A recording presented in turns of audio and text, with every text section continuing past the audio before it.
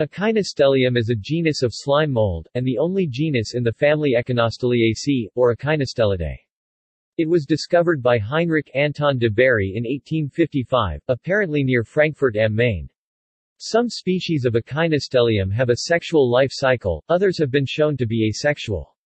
The plasmodium can divide vegetatively, in a process called plasmotomy, to distinguish it from true cell division.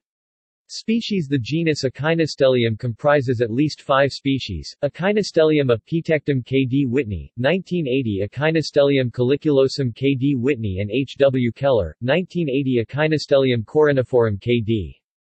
Whitney, 1980 Echinostelium fragile Nannenga Bremekamp, 1961 Echinostelium minutum de Bary and Rostafinski, 1874